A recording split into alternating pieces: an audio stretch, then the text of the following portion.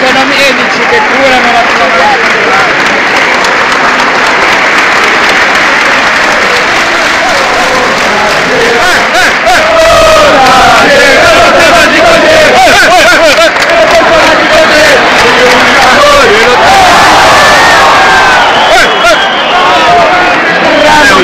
Ciao raga, ciao! Rambo de León.